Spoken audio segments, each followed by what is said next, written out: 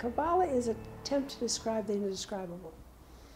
And it's very important because when I grew up in a secular house in California, San Francisco, California, I'm second generation Californian, San Franciscan, it was like I didn't even have support to say there was a soul or a God in a way. It's just like that was kind of laughed at in a way. But I had experiences. And so when I got into and I heard about later when I learned with Zalman, he was the first one that taught me about Kabbalah, it was like, wow, I know these places. I, I've experienced this. And it's giving me a language to describe what I didn't have before. I studied psychology, I studied all these different forms of trying to describe the spiritual worlds that I knew. But and, and Kabbalah was the way. There's God the giver and there's what God created, which is the receivers and the vessels. There's the light in the vessel. And we as vessels are created to receive God's light, and God just wants to give us the most abundant goodness possible, pleasure as possible. And yet, because of the world we're in, our default is to receive for ourselves alone, you know, in, a selfish, egotistical way. And that's okay as a child, you know, you learn to, to experience the lack and the desire for more. That's growing the vessel, so to speak. But at a certain point in our growing, we put in the extra. We don't, it doesn't comfortable to always receive.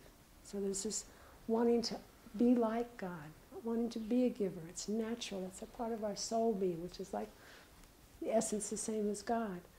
And in that place, when we learn and awaken to the need and desire to give, then there's this whole transformation of the spiritual path.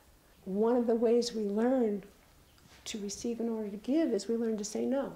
And the mitzvot teaches, you know, certain things you say no to because it would be receiving for yourself alone. So that we say no is like returning the light saying no to the light, but the light stays and wants to come back. You know, and there's what's called the hitting of the, the or makif, the, the outside light with the inner saying, come, I want to, I'm supposed to give you pleasure. And I'm saying, no, I can't take any more in now because it would be for myself alone.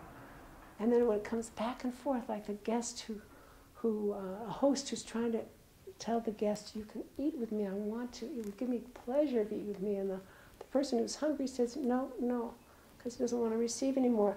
And the dynamic between the two creates a new vessel for the light to come in. So finally, the person who's come, the guest says, oh, I'd be giving to you, I mean to himself, I'd be giving to my host if I accept this meal. So he eats without, not from the place of receiving for himself alone, the appetite, from the place of giving. It's not a judgmental place. It's a place of noticing, of awareness. What is my motivation when I act?